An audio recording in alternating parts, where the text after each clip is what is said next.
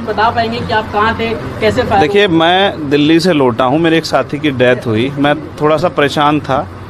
फिर उस डेथ की सूचना के बाद मैं मुझे आना था देवबंद में। मेरे एक हमारे एक साथी की माता जी की डेथ हो गई थी। उनके यहाँ रसम पगड़ी का कार्यक्रम था। उनके घर से जैसे मैं निकला।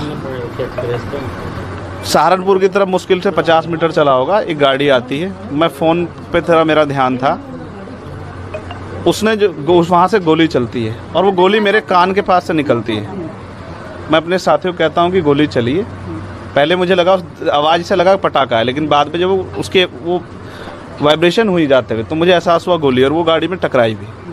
फिर दूसरी गोली जब मुझे लगी, बुलेट जो चीरती हुई लोहे के हिस्से को गाड़ी के, और वो मुझे लगी, तब मुझे एहसास हुआ कि हम घिर गए। फिर तीसरी गोली चली, इसने मेरा आगे वाला शीशा पूरा डैमेज कर दिया। चौथी गोली पे मैं नीचे हो गया, जिस वो जो गोली आपने देखा कि वो सीधी उसमें लगी। अगर मैं नीचे ना होता तो वो मेरी छाती के आर पार चली जाती। फिर वो गाड़ी दस मीटर आगे जाके रुक जाती है। वो दो हवा में फायर करते हैं, जैसा मैंने देखा, और फिर उन्होंने फिर हमारी गाड़ी फायर किया। वो गाड़ी के, वो फायर जो है गाड़ी के नंबर प्लेट पे लगी। मेरा ये मानना है।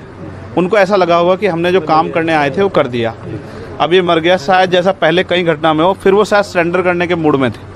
लेकिन जैसे ही मनीष ने गाड़ी को मेरे कहे से यू टर्न लिया उनको समझ आया कि ये ज़िंदा है तब वो वहाँ से भागे।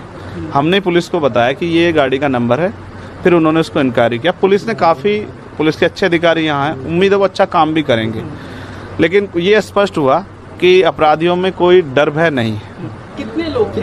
तीन लोग थे। दो लोग असले से हमला कर रहे थे। एक व्यक्ति गाड़ी चला रहा। था जी कोई थ्रेट कॉल आया हो आपको? इससे पहले कोई धमकी? पिछले कई सालों से आ रही है। मैं लगातार पुलिस को इंटीमेट भी करता रहता हूँ। मैंने डीजीपी को भी लिखा गृह मंत्री को भी लिखा मुख्यमंत्री को भी लिखा। यहाँ के पहले एसएसपी डीएम थे उनको भी लिखा। लेकिन डीएम साहब जो पिछले थे अखिलेश सिंह जी उन्होंने साफ़ मना कर दिया चीफ मिनिस्टर नहीं चाहते चंद्रशेखर को सुरक्षा दी जाए।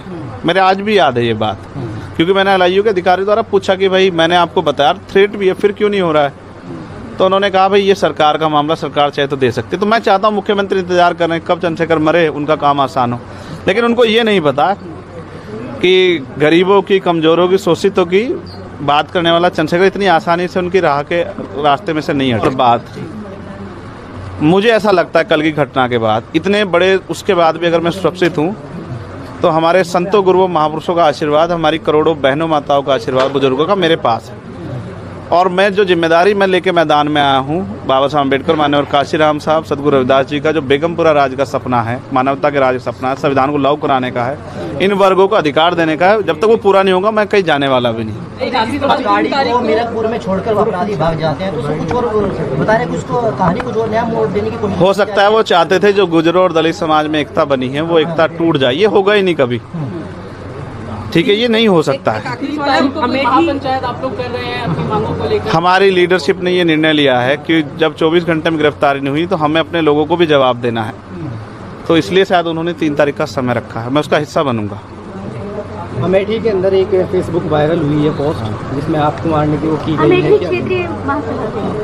कई है उसके अलावा। ठीक है देखिए लोकतंत्र है उनके अधिकार है। मारे या छोड़े मैंने कहा ना मैं पहला थोड़ा ही हूँ जो मारा जा रहा हूँ या जिसको मारने का प्रयास किया। मुझसे पहले बहुत मरे हैं लेकिन उनकी उनको कोई जान नहीं रहा था। मैं जब मुझे लोग जानते हैं तो मेरी बात पे बात आगे बढ़ रही लेकिन मैं अपने लोगों को मरने नहीं दूँगा। ये भी मैं उनको संदेश देना चाहता हूँ। घटना होने के बाद ये पोस्ट किया है अमेठी क्षेत्रीय महासभा से कि इस बार तो बच गया अगली बार नहीं बचेगा। देखो मैं गोली से डरता नहीं। मैं गोली से बंदूकों से नहीं डरता हूँ। मैं संवैधानिक रास्ते से चलता हूँ। संविधान को मानता हूँ। गोली चलाने वालों को भी कहना चाहता हूँ, कुदरत उनको सद्बुद्धि दे। गलत जगह पंगा ले रहे हैं। मैं झगड़ा नहीं चाहता। मैं अपने लोगों को भी ये कह रहा हूँ, कल से शांति बनाओ को और संविधान के रास्ते चलो। वो हमें डिस्टर्ब करना चाहते हैं कि जो हम सत्ता, राजनीतिक ताकत हमारी बन रही हो, कमज़ोर हो जाए, हम दूसरी दिशा चले जाएँ। लेकिन ये भी एक अटल, अटूट सत्य है कि हम संविधान के ज़रिए जवाब देना जानते हैं। और किसी को गलतफहमी हो तो वो गलतफहमी सुधारने का समय है। वो क्यों वो क्यों वो कर रहे थे? वो पाला खींच लें? मुझे ही तो मारना है ना। वो बता दे, मैं चला जाऊँगा मरने में। अगर मेरे लोगों के साथ तो खेल ना खेले ना। मैं तैयार हूँ। अगर मेरे मरने से हमारा आंदोलन आगे बढ़ता, हमारे लोग खड़े होते मुझे कोई दिक्कत नहीं है। लेकिन उनको ये समझना चाहिए कि ये आज लोकतंत्र है। गोली की भाषा से एक चंद्रशेखर मरेगा तो क्या हो जाएगा? हज़ारों चंद्रशेखर पैदा हो जाएँगे।